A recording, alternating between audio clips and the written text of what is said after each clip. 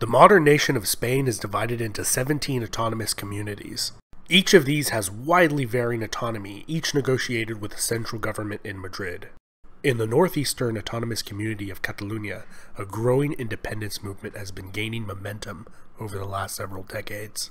The current tensions between the Catalans and the Castellanos finds its roots in medieval times. The year is 1469. The Iberian Peninsula is split into five kingdoms. The Kingdom of Portugal, the Kingdom of Navarre, the Islamic Emirate of Granada. The Crown of Aragon was a composite monarchy formed by the marriage of the Queen of Aragon and the Count of Barcelona in 1137. These would remain separate but ruled by the same monarch. In the Principality of Catalonia, people were protected by a constitution and elected a parliament called the Cortes. The largest of these kingdoms was Castilla y Leon. This was ruled over by the 18 year old Isabella, who would marry Fernando of Aragon. Together, they would conquer the last Islamic enclave on the Iberian Peninsula of Granada.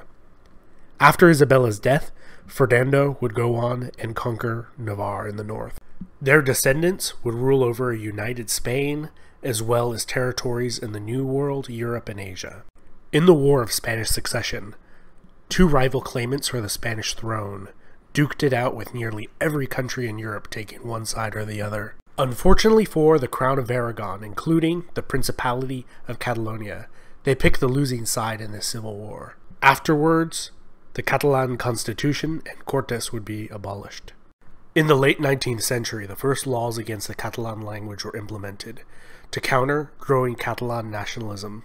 During his nearly four decades as head of the Spanish state, Francisco Franco would implement even more draconian policies against the use of the Catalan language. Following Franco's death in 1975, Catalonia has gradually gained more autonomy and independence. Since medieval times, Catalans were known for their industry and aptitude as merchants and traders. Many Catalans in favor of independence believe they are paying disproportionately high taxes and receiving too little benefits in return.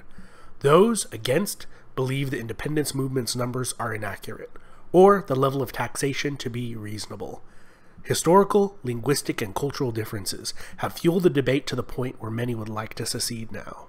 Check out my video, Arguments for and Against Catalan Independence, to see more detail on both sides' positions. And if you like the content and would like to see further videos like this, don't forget to subscribe and hit that bell icon. And you'll be able to see an upcoming video I'm making on Spanish history. This has been Epimetheus. I'm a one man operation, and it's really my love of the subject matter, your kind and nasty comments, and all those subscribes, likes, and dislikes that keep me going. So, thank you for that, and subscribe if you would like to see more of my drawings and commentary. Thank you.